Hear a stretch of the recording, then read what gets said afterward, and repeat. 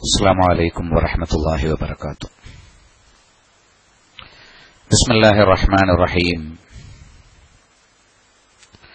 إن الحمد لله نحمده ونستعينه ونستغفره ونستهديه. ونؤمن به ونتوكل عليه ونعوذ بالله من شرور أنفسنا وسيئات أعمالنا. من يهده الله فلا مضل له ومن يضلل فلا هادي له. وأشهد أن لا إله إلا الله وحده لا شريك له وأشهد أن محمدا عبده ورسوله. أرسله بالهدى ودين الحق ليظهره على الدين كله ولو كره المشركون. أما بعد فإن خير الكلام كلام الله وخير السنن سنن محمد صلى الله عليه وسلم. وشر الأمور محدثاتها وكل محدثة بدع وكل بدعة ضلالة وكل ضلالة في النار. يا أيها الذين آمنوا اتقوا الله حق تقاته ولا تموتن إلا وأنتم مسلمون. يا أيها الناس اتقوا ربكم الذي خلقكم من نفس واحدة وخلق منها زوجها وبث منهما رجالا كثيرا ونساء. واتقوا الله الذي تساءلون به والأرحام. إن الله كان عليكم رقيبا. يا أيها الذين آمنوا اتقوا الله وقولوا قولا سديدا. يصلح لكم أعمالكم ويغفر لكم ذنوبكم. ومن يطع الله ورسوله فقد فاز فوزا عظيما. അള്ളാഹുവിന്റെ ആജ്ഞാനിർദ്ദേശങ്ങൾ പാലിച്ച് ഇസ്ലാമിന്റെ ഓരോ നിയമങ്ങളിലും വ്യക്തമായ തെളിവുകൾ പഠിച്ച് സലഫിയത്തിന്റെ ആദർശം മുറുകെ പിടിച്ച് ഉന്നതമായ സംസ്കാരം എല്ലാ രംഗത്തും ഉയർത്തിപ്പിടിക്കണം എന്ന് ആമുഖമായി എല്ലാ ഓരോരുത്തരോടും വസീയത്ത് ചെയ്യുന്നു. സൂറത്തുന്നൂറിലെ ആയത്തുകൾ പഠിക്കുന്ന സമയത്ത് ഹദീസുൽ ഇഫ്ക് അഥവാ ആയിഷ റതി അള്ളാഹു താലാൻഹയെ സംബന്ധിച്ച് മുനാഫിക്കുകൾ അപവാദ പ്രചാരണം നടത്തിയതുമായി ബന്ധപ്പെട്ട സംഭവങ്ങൾ നാം മനസ്സിലാക്കുകയുണ്ടായി. ആയിഷ റതി അള്ളാഹു താലാൻഹയിൽ നിന്ന് തന്നെ ആ സംഭവം വിശദമായി റിപ്പോർട്ട് ചെയ്യപ്പെട്ടതിൽ ഒരു യുദ്ധത്തിൽ അതായത് ബനുൽ മുസ്തലഖ് യുദ്ധത്തിൽ നബി സല്ലാഹു അലഹി വസല്ലമയോടൊപ്പം യാത്ര ചെയ്യാൻ നറുക്കെടുപ്പിൽ അവസരം ലഭിച്ചത് ആയിഷ റതി അള്ളാഹു ആ യുദ്ധം കഴിഞ്ഞ് തിരിച്ചു വരുമ്പോൾ മദീനയിലെത്താറായ സമയത്ത് അവർ ഏതാണ്ട് രാത്രിയാകാൻ നേരത്ത് വിശ്രമത്തിനു വേണ്ടി ഒരിടത്തിരുന്ന് വിശ്രമം കഴിഞ്ഞ് മടങ്ങുമ്പോൾ ആയിഷ അള്ളാഹു താലാൻഹയെ കൂട്ടാൻ മറന്നുപോയി. മറന്നുപോയി എന്ന് പറഞ്ഞാൽ അവരുടെ കൂടാരത്തിൽ അവരുണ്ടായിരുന്നില്ല. അവരുടെ നഷ്ടപ്പെട്ടുപോയ ഒരു മാല തെരഞ്ഞ് അവർ ഒരൽപ്പം ദൂരേക്ക് നടന്നുപോയപ്പോൾ തിരിച്ചു വരുമ്പോഴേക്കും എല്ലാവരും പോയി അവരൊറ്റയ്ക്കായി ബീവി പറയുന്നുണ്ട് വഹറജത്തുമാ റസൂലില്ലാഹി സല്ലാ അലൈവല്ലം ഞാൻ റസൂലുള്ളയുടെ കൂടെ പുറപ്പെട്ടത് വദാലിക്ക ബഴതമാ ഉൻസിൽ അൽ ഹിജാബ്. ഹിജാബിന്റെ നിയമം ഇറക്കപ്പെട്ടതിന് ശേഷമാണ്. ഇൻഷാല്ല ഇന്ന് നമ്മൾ ചർച്ച ചെയ്യുന്നത് ഇസ്ലാമിലെ ഹിജാബ് എന്താണ്? ആയിഷാ ബിബി പറഞ്ഞ ഈ ഹിജാബിന്റെ നിയമം എന്നതുകൊണ്ട് ഉദ്ദേശിക്കുന്നത് എന്താണ്? അതിനുള്ള തെളിവുകൾ എന്താണ്? മുസ്ലിം സ്ത്രീയുടെ ഹിജാബ് എപ്പോഴാണ് അത് പാലിക്കുന്നവരായി അവർ മാറുക? ഈ വിഷയങ്ങളാണ് ഇൻഷാല്ല ഇന്ന് നമ്മൾ ചർച്ചയ്ക്കെടുക്കുന്നത് അപ്പം മൂന്ന് കാര്യങ്ങൾ ഇവിടെ തുടർച്ചയായി ഹിജാബുമായി ബന്ധപ്പെട്ട് ആയിഷാ ബിബി പറയുന്നുണ്ട്. ഒന്ന് ഈ സംഭവം ഉണ്ടായത് ഹിജാബിന്റെ ആയത്ത് ഇറങ്ങിയതിനു ശേഷമാണ്. അപ്പൊ ഹിജാബുമായി ബന്ധപ്പെട്ട ചില നിയമങ്ങൾ ഈ സംഭവത്തിൽ നിന്ന് നമ്മൾ പഠിക്കേണ്ടതുണ്ട് എന്നുള്ളത് അവർക്ക് നിർബന്ധമാണ്. രണ്ടാമതായി അവരെ സംബന്ധിച്ചിടത്തോളം അവരെ കൂടാരത്തിൽ ഉണ്ട് എന്ന് കരുതി അവരില്ലാതെ തന്നെ യാത്ര പോയി. അവർക്ക് അവർ മടങ്ങി വരും എന്ന പ്രതീക്ഷയിൽ അവിടെ കാത്തിരിക്കേണ്ടി വന്നു. അവർ തിരിച്ചു വരും എന്നുള്ള പ്രതീക്ഷയിൽ പിന്നെ അവർ കാത്തിരിക്കേണ്ടി വന്നു. തന്നെ സഹായിക്കാൻ ആരെങ്കിലും എത്തുമല്ലോ. അങ്ങനെ യുദ്ധസംഘങ്ങൾക്ക് പിന്നാലെ എന്തെങ്കിലും വഴിയിൽ വല്ല കാര്യങ്ങളും സംഭവിച്ചിട്ടുണ്ടെങ്കിൽ ശ്രദ്ധിക്കാനായിട്ടും വല്ലതും നഷ്ടപ്പെട്ടു പോയിട്ടുണ്ടെങ്കിൽ കണ്ടെത്താനായിട്ടും പതിവ് പോലെ റസൂലുല്ലാഹി സല്ലാ അലൈഹി സ്വലാമ ഒരാളെ നിശ്ചയിക്കാറുണ്ട് അല്ലെങ്കിൽ ഒന്നിലേറെ ആളുകളെ നിശ്ചയിക്കാറുണ്ട്. ഈ യുദ്ധത്തിൽ സഫ്വാൻ റതിയല്ലാഹു അൻഹുവിനെ റഖ്വാൻ ഗോത്രക്കാരനായ സഫ്വാൻ റതിയല്ലാഹു അൻഹുവിനെയാണ് നബി സല്ലാ അലൈഹി സ്വലം അതിനുവേണ്ടി ഏൽപ്പിച്ചിട്ടുള്ളത്. അദ്ദേഹം ഈ യുദ്ധസംഘത്തിന്റെ ഒരുപാട് പിറകിലായി സഫ്വാൻ ബിൻ അത്തൽ അസ്വലമി അൽ ദഖ്വാനി അദ്ദേഹം വരുന്ന സമയത്ത് ആയിഷ റതി അള്ളാഹു താലാൻഹ ഇങ്ങനെ ഒറ്റപ്പെട്ടിരിക്കുന്നത് കണ്ടു. ഇരുട്ട് സമയമാണ് ആദ്യം ആളെ മനസ്സിലായില്ല. ഒരു നിഴൽ മാത്രമാണ് അദ്ദേഹം കണ്ടത് എന്ന് ഹദീസിൽ കാണാം. ഒരു ആ സവാദ ഇൻസാനിൻ നായിമെന്ന ഉറങ്ങുന്ന ഒരു മനുഷ്യന്റെ കറുപ്പ് മാത്രമാണ് അദ്ദേഹം കണ്ടത്. കാരണം ആയിഷാബി അവിടെ കിടന്ന് ഉറങ്ങിപ്പോയിരുന്നു. ആയിഷാബി പറയാണ് അദ്ദേഹം എന്റെ അരികിലെത്തി എന്നെ കണ്ടപ്പോൾ എന്നെ അദ്ദേഹത്തിന് മനസ്സിലായി. അടുത്ത വാചകം ശ്രദ്ധിക്കണം. എന്തുകൊണ്ട് മനസ്സിലായി? ഹിജാബ്. മറ്റൊരു റിപ്പോർട്ടർ ഖബല അൻ റബ അലയ്യൽ ഹിജാബ്. ഹിജാബിന്റെ നിയമം വരുന്നതിന് മുമ്പ് അദ്ദേഹം എന്നെ കണ്ടിരുന്നു. അപ്പൊ ഹിജാബിന്റെ നിയമം വരുന്നതിന് മുമ്പ് സഫ്വാൻ റതിയുള്ളഹാനു ആയിഷാ ബിബിയെ കണ്ടിട്ടുണ്ട്. അതുകൊണ്ട് മനസ്സിലായി എന്ന് ആയിഷാ ബിബി എടുത്തു പറഞ്ഞു. അപ്പൊ ഹിജാബിന്റെ നിയമം വന്നതോടുകൂടി എന്താണ്? ഒരാളെ കണ്ടു മനസ്സിലാക്കാൻ കഴിയില്ല. കാരണം ഒരാളെ കണ്ടു മനസ്സിലാക്കൽ കൈ നോക്കിയിട്ടും കാൽ നോക്കിയിട്ടൊന്നല്ല ഒരാളെ കണ്ടു മനസ്സിലാക്കൽ അവരുടെ മുഖം നോക്കിയിട്ടാണ്.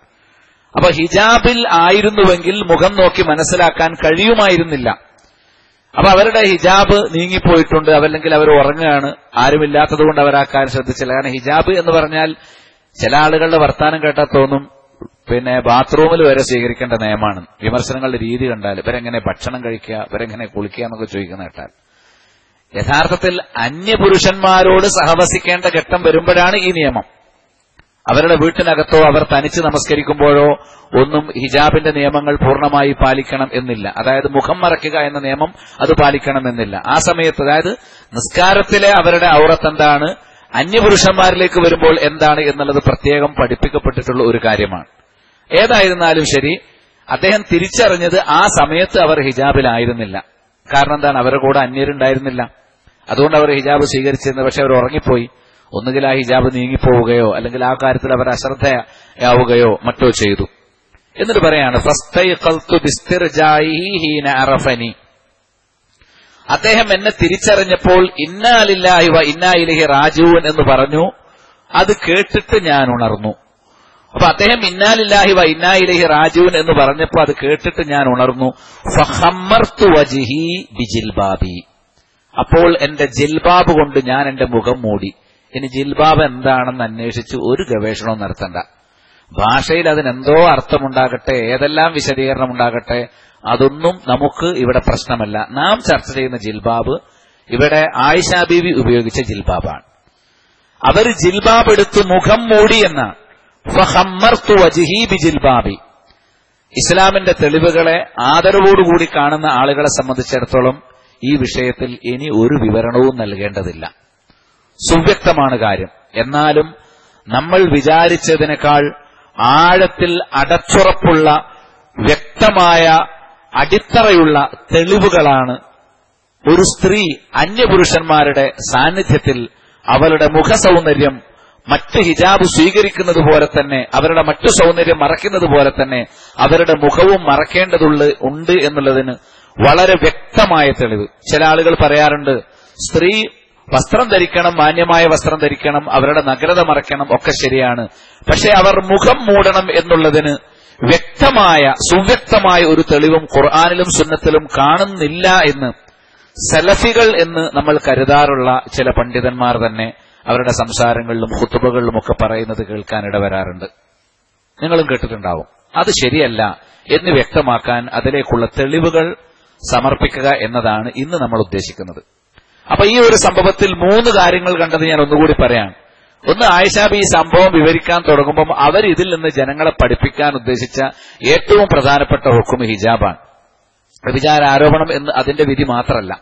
അതേതായാലും ഖുറാൻ ആയത്തിൽ വ്യക്തമാണ്. ആയിഷാബി അത് വിശദീകരിക്കുമെന്ന് തുടങ്ങിയത്. ഹിജാബിന്റെ ആയത്തിന് പിന്നെ ഇറങ്ങിയതിന് ശേഷമായിരുന്നു ഈ സംഭവം ഒന്ന്. അപ്പൊ ഹിജാബിന്റെ ആയത്ത് എന്താണെന്ന് പഠിക്കേണ്ടതുണ്ട്.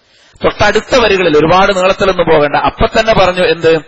അദ്ദേഹം എന്നെ അതായത് സഫ്വാനുബിന് അത്തൽ എന്നെ ഹിജാബിന് മുമ്പ് കണ്ടിരുന്നു. അപ്പൊ ഹിജാബിന് മുമ്പ് ആളുകൾ മുഖം തന്നെ കാണാറുണ്ടായിരുന്നു. അതുകൊണ്ട് മനസ്സിലായി എന്നുള്ളതിൽ നിന്ന് വ്യക്തമായി. അദ്ദേഹം എന്റെ മുന്നിൽ വന്നപ്പോൾ ഉടനെ ഞാൻ എന്റെ ജിൽബാബ് എടുത്ത് എന്റെ മുഖം മറച്ചു. ഫഹമ്മർത്തു വജിഹി ബിജിൽബാബി. എന്റെ മുഖം എന്റെ ജിൽബാബ് എടുത്തു മറച്ചു. ഇത് സൊഹേഹുൽ ബുഖാരിയിലെ ഹദീസാണ്. വേറെയും ഹദീസ് ഗ്രന്ഥങ്ങളിലെല്ലാം ഇത് റിപ്പോർട്ട് ചെയ്യപ്പെട്ടിട്ടുണ്ട്. അപ്പൊ ഞാൻ തെളിവുകൾ ഒന്നു മതിയാകും ആവശ്യക്കാർക്ക്. എന്നാലും ഈ വിഷയം നമ്മൾ വിശദമായി ചർച്ചക്കെടുക്കണം എന്ന് ഉദ്ദേശിക്കുന്നത് കൊണ്ട് അതുമായി ബന്ധപ്പെട്ട കാര്യങ്ങളെല്ലാം പറയാം. പല ആളുകളും ജിൽബാബിനോടും ഹിജാബിനോടും ഒക്കെ വെറുപ്പ് കാണിക്കുന്നത് ദുനിയാവിന്റെ ചില താല്പര്യങ്ങൾ അവരെ അതിജയിക്കുമ്പോഴാണ്. അത് യഥാർത്ഥത്തിൽ ഹിജാബിന്റെ വിഷയത്തിൽ മാത്രമല്ല മുസ്ലിങ്ങൾ പൊതുവെയും മുസ്ലിം സ്ത്രീകൾ പ്രത്യേകിച്ചും ആക്ഷേപങ്ങളും ആരോപണങ്ങളും ശത്രുക്കളുടെ പരിഹാസങ്ങളും വാങ്ങേണ്ടി വരുന്ന ഒരുപാട് വിഷയങ്ങളുണ്ട്. അതൊന്നും ഇപ്പൊ ഞാൻ ഉദാഹരണമായിട്ട് പോലും പറയുന്നില്ല. അങ്ങനെ ആളുകളുടെ കയ്യിൽ പരിഹരിക്കപ്പെടും അവരെന്ത് ചെയ്യും എന്നുള്ളതൊന്നും ഒരു മുസ്ലിമിന് ശരീരത്ത് നിയമം പാലിക്കാനുള്ള ഒരു തടസ്സമല്ല. ചിലർ പറയും ഹിജാബ് എന്ന് പറഞ്ഞാൽ അതൊരു കുടുസതയുടെ വസ്ത്രമാണ്. അത് ജാഹിലിയത്തിന്റെ വസ്ത്രമാണ് ആറാം നൂറ്റാണ്ടിലെ വസ്ത്രമാണ്. സ്വാതന്ത്ര്യത്തെ തടയുന്ന വസ്ത്രമാണ്. അങ്ങനെയൊക്കെ പറഞ്ഞിട്ട് അപ്പൊ അങ്ങനെയൊക്കെ പറയുമ്പോൾ നമ്മൾ ഈ ഹിജാബ് ഈ ജിൽബാബ് നിർബന്ധമാണ് എന്ന് ശാഠ്യം പിടിക്കേണ്ടതുണ്ടോ എന്നാണ് സാധുക്കളായ ചില ആളുകൾ ചോദിക്കാറുള്ളത്. അവർക്ക് ദീനിന്റെ നിയമം ലംഘിക്കണം എന്നുള്ള ചിന്തയൊന്നും ഉണ്ടാവില്ല അങ്ങനെയൊക്കെ ആളുകൾ ഇങ്ങനെ തലങ്ങും വിലങ്ങും ചോദിക്കുമ്പോൾ അപ്പൊ അതിന്റെ മുന്നിൽ പതറിപ്പോകുന്നത് എന്തുകൊണ്ടാണെന്ന് ചോദിച്ചാൽ ഈ വിഷയത്തിലെ തെളിവുകൾ പഠിക്കാത്തത് കൊണ്ട് മാത്രമാണ്. ആളുകൾക്ക് പഠിക്കാൻ നേരല്ല. അപ്പൊ ഇങ്ങനെ അകലാനികളും ഈ മതവിരുദ്ധരും അതേപോലെ തന്നെ ഹദീസ് നിഷേധികളും മോഡേൺ ഏജിന്റെ ആളുകളും അത്തരം ആളുകളൊക്കെ വല്ലതും പറയുമ്പോഴേക്കും നമ്മൾ ഒരിക്കലും ഒരു മുഗ്മിൻ പതരേണ്ടതില്ല. ഫലാ തർശവും വർഷവുനി നിങ്ങൾ അവരൊന്നും പേടിക്കേണ്ട എന്നെ മാത്രം പേടിച്ചാൽ മതി. ആൾ ദീനിനോട് എതിരുള്ളവർ പലതും പറയും പലതും ആക്ഷേപിക്കും അതിനൊന്നും ഭയപ്പെടേണ്ട ആൾക്കാരല്ല നമ്മൾ. നമ്മൾ ദീനിൽ നിയമമുണ്ടോ എന്നല്ലേ നോക്കേണ്ടതുള്ളൂ. ഇല്ലെങ്കിൽ നമ്മൾക്ക് ശരി. നമുക്കതിൽ ഇളവുണ്ട്. ഉണ്ടോ ഇല്ലേ നമ്മൾ പരിശോധിക്കുന്നത് ദീനിൽ നിയമം ഉണ്ടായിട്ടും ഇത്തരം ചോദ്യങ്ങൾ ചോദിക്കുന്നവരോട് നമുക്കുള്ള മറുപടി ഒന്നു മാത്രമാണ്. "ഖുൽനാറു ജഹന്നമ അശദ്ദു ഹർറൻ ലൗ കാനൂ യഫ്ഖഹൂൻ." പറയുക അവർ ചിന്തിക്കുന്നവരാണെങ്കിൽ മനസ്സിലാക്കണം നരകത്തിന്റെ അഗ്നി അതികഠിനമാണ്. അള്ളാഹു ഒരു നിയമം തന്നത് നരകത്തിൽ നിന്ന് രക്ഷിക്കാൻ വേണ്ടിയിട്ടാണ്.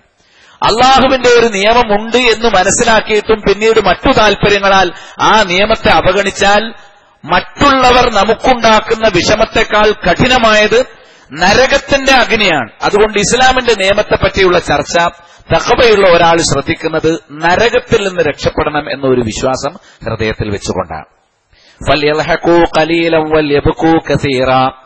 അതുകൊണ്ട് അല്പം മാത്രം അവർ ആസ്വദിക്കട്ടെ ചിരിക്കട്ടെ ധാരാളമായി അവർ കരയട്ടെ. ജസ അംബിമാക്കാനു യക്സിബൂൻ അവർ സമ്പാദിക്കുന്നതിന്റെ പ്രതിഫലമായി. ഒന്ന്. രണ്ടാമത് അവർക്കുള്ള മറുപടി പൊതുവെ വിശ്വാസം കുറവുള്ളവർക്കും നിഫാഖിന്റെ ആളുകൾ മുനാഫിക്കുകൾക്കും ഒരു തകരാറുണ്ട്. ഇത് മുനാഫിക്കുകളുടെ തകരാറാണ് ഞാൻ പറയുന്നത്. മുഖം തുറന്നിരുന്നവരുടെ തകരാറല്ല. അവർ മുനാഫിക്കുകളാണ് എന്ന് നമ്മൾ വിധിക്കുന്നുമില്ല. കാരണം ചില കിതാബുകളും ചില പണ്ഡിതന്മാർ വ്യക്തമായി പറഞ്ഞു തരാത്തതിന്റെ കാരണത്താലും ചില ഹദീസുകളെ തെറ്റായി മനസ്സിലാക്കിയതിന്റെ പേരിലും ഗൗരവത്തോടുകൂടെ അല്ലാതെ മുഖം തുറന്നിരുന്നവരുണ്ടായിരിക്കാം അവരെ ഞാൻ ഈ കൂട്ടത്തിൽ ഉൾപ്പെടുത്തുന്നില്ല. നേരെ മറിച്ച് മുനാഫിക്കുകളെ കുറിച്ച് പറഞ്ഞ ഈ വാചകങ്ങൾ അത് ഒരു ഘട്ടത്തിൽ നമുക്ക് ബാധകമാകാൻ ഇടയുണ്ടോ ഇല്ലേ എന്ന് പരിശോധിക്കേണ്ടതുണ്ട്. മുനാഫിക്കുകളുടെ ലക്ഷണങ്ങൾ നമ്മൾ പഠിക്കുന്നത് ആ ലക്ഷണങ്ങളിൽ ഏതെങ്കിലും ഒന്ന് കാണുമ്പോഴേക്കും അയാൾ മുനാഫിക്കാണ് എന്ന് വിളിക്കാൻ വേണ്ടിയിട്ടല്ല. നേരെ മറിച്ച് സ്വന്തം ജീവിതത്തിൽ നിഫാഖ് വരുന്നുണ്ടോ എന്ന് പേടി പരിശോധിക്കാൻ വേണ്ടിയിട്ടാണ്. നിഫാഖിനെ കുറിച്ച് കേൾക്കും. സൂറത്ത് നൂറിൽ തന്നെ അതേ സുറത്തിൽ. സൂറത്ത് നൂറിൽ തന്നെ നാൽപ്പത്തിയേഴ് മുതൽ അൻപത്തിരണ്ട് വരെയുള്ള ആയത്തുകൾ ഇപ്പോൾ ഞാൻ വിശദീകരിക്കുന്നില്ല പക്ഷെ നിങ്ങളത് വിശദമായിട്ട് പഠിക്കണം. വയഖൂലൂന ആമന്നാ ബില്ലാഹി റസൂൽ വാത്തായന അവർ പറയുന്നു ഞങ്ങൾ അള്ളാഹുവിലും റസൂലിലും വിശ്വസിച്ചു ഞങ്ങൾ അനുസരിച്ചു. പറയുന്നത് അങ്ങനെയാണ് ഞങ്ങൾ മുസ്ലിമാണ് അള്ളാഹു റസൂലും വിശ്വസിച്ചിട്ടുണ്ട് അനുസരിച്ചിട്ടുണ്ട്. പക്ഷെ നടക്കുന്നതോ? സുമ്മയത്തവല്ല ഫരീഖും അതിനുശേഷം അവരിൽ നിന്ന് ഒരു വിഭാഗം പിന്തിരിഞ്ഞു പോകുന്നു.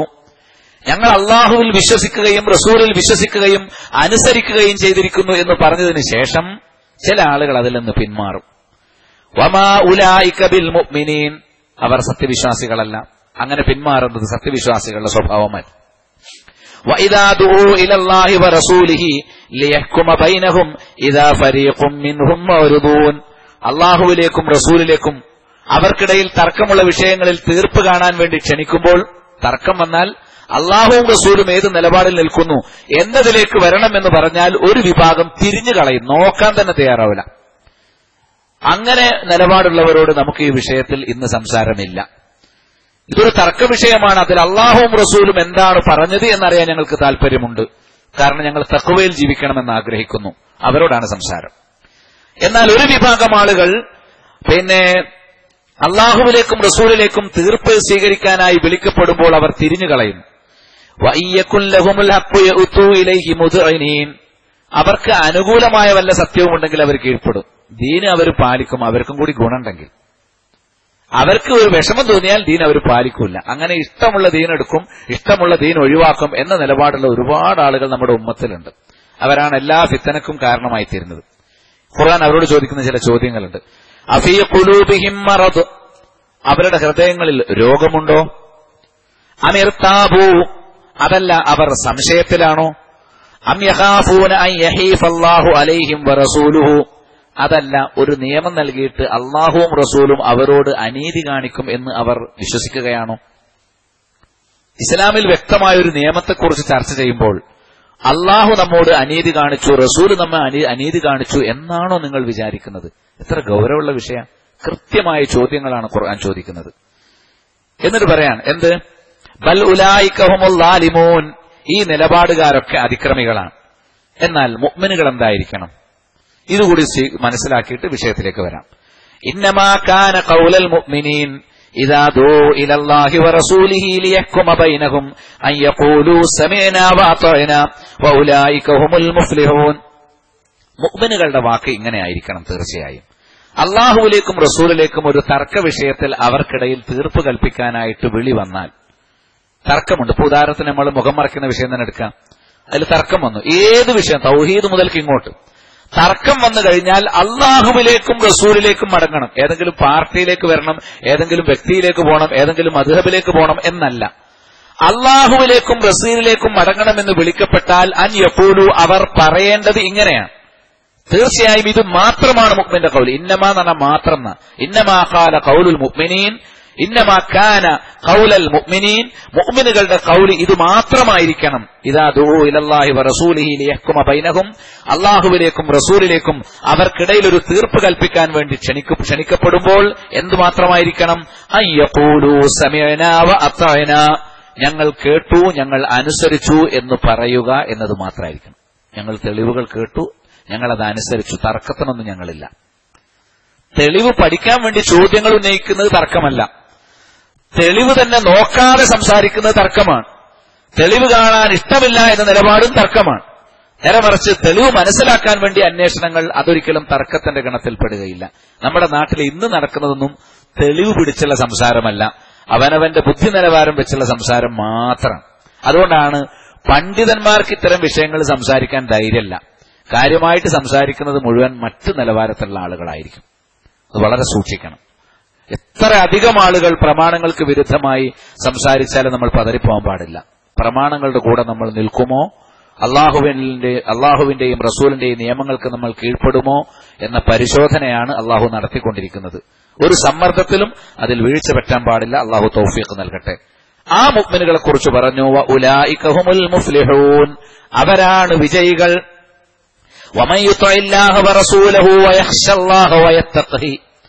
ആരാണോ അള്ളാഹുവിനെ അനുസരിക്കുന്നത് അള്ളാഹുവിന്റെ റസൂലിനെ അനുസരിക്കുന്നത് ആരാണോ അള്ളാഹുവിനെ ഭയപ്പെടുന്നത് ആരാണോ അള്ളാഹുവിനെ സൂക്ഷിക്കുന്നത്